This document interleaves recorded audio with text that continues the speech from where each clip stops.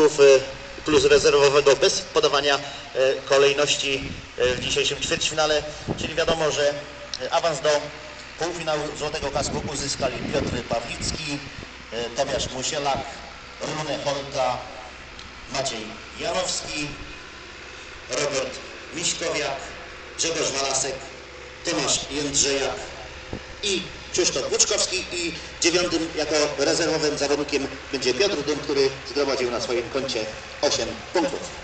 Dziękuję Państwu serdecznie za uwagę yy, na dzisiejszych zawodach i oczywiście serdecznie zapraszam w lany poniedziałek o godzinie 15 na pierwszy pojedynek ligowy sezonu 2012 pomiędzy gospodarzem kolejarzem Rafa Grabicz i drużyną Wiktoria Piła. Dziękuję, do widzenia, do zobaczenia.